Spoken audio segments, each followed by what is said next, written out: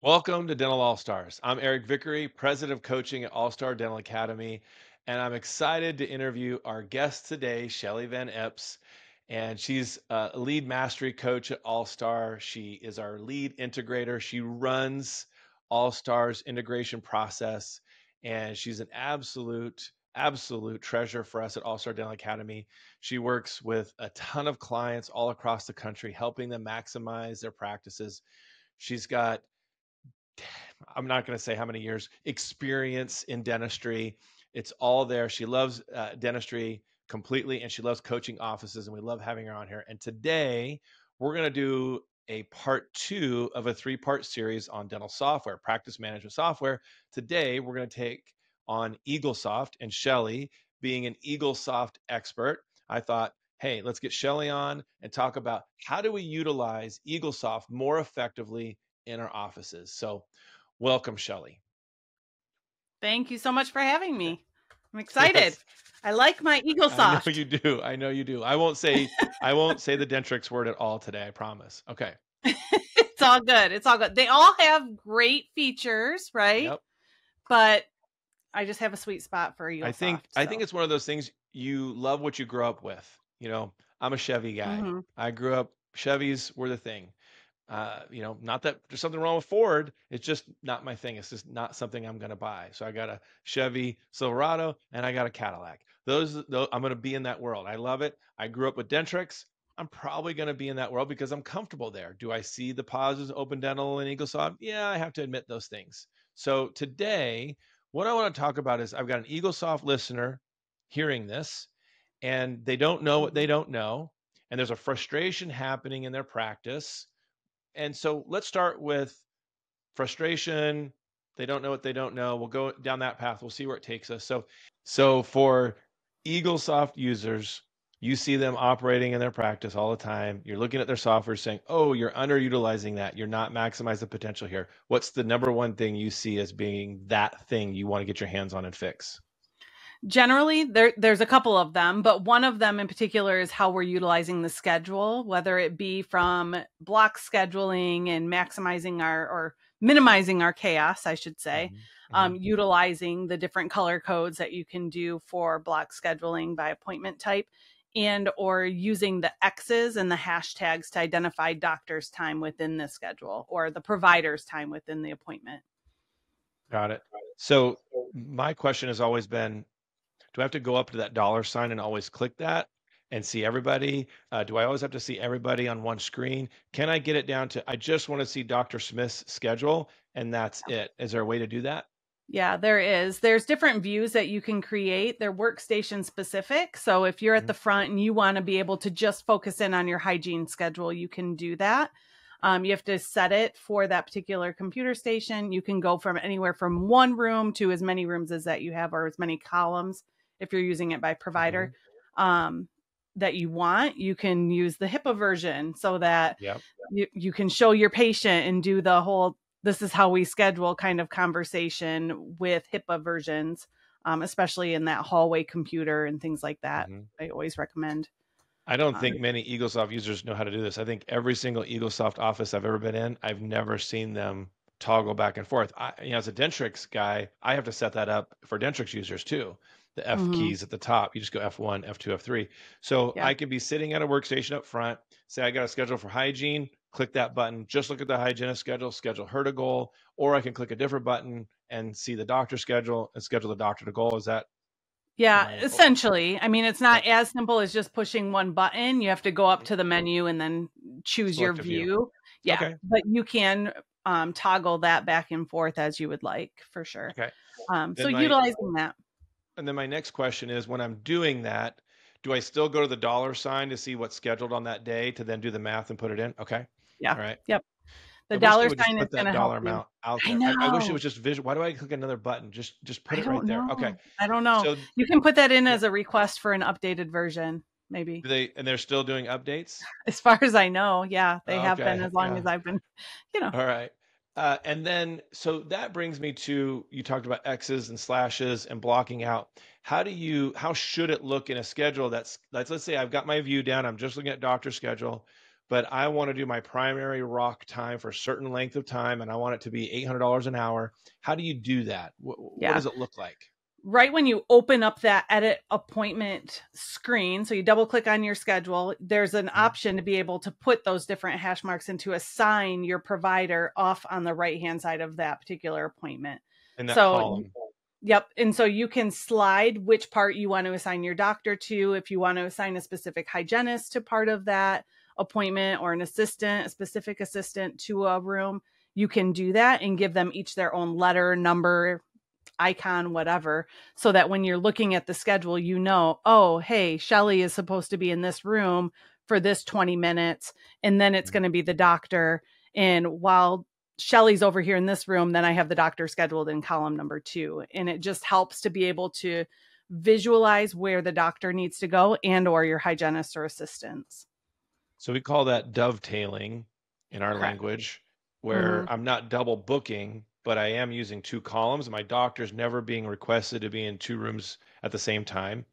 And what are those? And it's on the right side of the appointment, EagleSoft. And what are mm-hmm. those symbols that you're signing? You said X's and slashes, or you can set it up to be whatever you'd like. Their default is an X and a slash or a hashtag, mm-hmm. I guess is what it would be. But when you okay. go into your providers or your team um, setup, you can select what image um, oh, or nice. icon that you want to utilize for that particular person. So if you have five different doctors, they're not all going to be X's, which is what it shows up as default. But you can say, you know, doctor you could do one two three if you wanted to or whatever so that it just shows nice. up in those boxes yeah okay that's cool and then can you say uh, let's say you template your day can mm-hmm. you move that time around easily in the schedule or once it's in it's locked in okay all right that is a i i would say i would agree that that is one downfall for eaglesoft over dentrix and that once that block is there you it's for here and forever. If you yeah. say on Mondays, this is my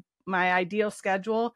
Mm-hmm. Every Monday is that same ideal schedule. So there was different ways that I would yeah. work to get around that. For example, if my doctor said, "Hey, we're not working as many days on this particular week. I want every day to be rock time or those high production times." I would go in and put a block in there just to make sure that I didn't put any of the smaller appointments in there. And then as I replace mm-hmm. those blocks um, with an actual appointment, then I would take those back off. But you have to basically yeah. block it out. Like, do, like do not go here. Almost. Yes, just putting it almost like a memo or a note in in the place of where an appointment would go until that appointment is scheduled. Got it. Got it. Okay. And do you get to label before there's any appointments in the schedule? Can you label what blocks are, or you just need to know what the color bar is meant to be? Yeah. You need to know the colors to some extent. There is a guide that you can revert over to if you know if you have access. You have to be given access within the system. So you would just want to make sure all of your users who would need to be able to see it have access to view certain things, just like any other software depending on what your parameters are that you've been given, you can see certain reports or different features. And so you need to make sure everybody has access to it, but you can access that if you need to. That's why I think having just a few colors is helpful because then everybody knows them. We would go with, you know, doctor's favorite colors. He's a U of M fan. Got it. Got it. And then maybe like a new patient color or an emergency color or something. Yes. Like yep. Exactly. Got it. Got it. Yes. Three. So, second question would be you're sitting in an EagleSoft office and you're watching them use it and you're saying, "Oh, wait, that's not how you do that. There's an easier way to there's a shortcut to it. Let me teach you something." What do you often see whether it's I know, sometimes posting I, I feel like sometimes in EagleSoft for me, it's posting an insurance payment while updating the payment table. Sometimes that can be cumbersome. People don't know how to do that well. What do you yeah. see? there's there's honestly so many different ways to do everything within eaglesoft um, that that does tend to be a challenge for a lot of team members like what's the mm. right way quote unquote yeah. right way and really what i found in how i trained team members is let's talk about what the goal is and then we can figure out which way you're going to be able to access it quicker if you're in the clinical area and you're working on something it may be quickest to go straight through the appointment if you're working at the front desk and you're you have a phone call coming in, clicking on the person tab up in the corner versus um, clicking on the schedule and searching for them may be quicker. And so that is going to vary um, based on what your task is that you're doing. Now, you're asking specifically about accounts um, mm-hmm. and applying payments. So, the way that I would always do that is going straight to the accounts tab, opening up the account, applying a payment, clearing a claim all at once by clicking, you know, that you're clearing the claim. You can enter in down at the bottom of that screen all of your different payments based on procedure specific codes and then hit to apply to your fee table but you need to separate that payment out if you want it to automatically update your fee or your your payment table, your fee schedule. So one of the things that we talked about with Open Dental was fee schedules and write-offs. Mm, when you yeah. get into in-network versus out-of-network and EagleSoft, do you find it's better to just have your office fee schedule in EagleSoft, bill that to insurance and do a write-off, or do you find it's better to have Office fee schedule number one, Delta fee schedule number two, Cigna fee schedule number three, MetLife fee schedule number four, and therefore eliminate the write-off process. What what do you prefer? Yeah. For myself and for KPI purposes or key performance mm-hmm. indicator purposes, I prefer to always bill the full fee and for that mm-hmm. to be reflected on the patient's account balance or their ledger as well as on the claims. So submitting the full fee and then doing the adjustment as those EOBs come in, but mm-hmm. making sure that you have several different adjustment types set up by insurance company.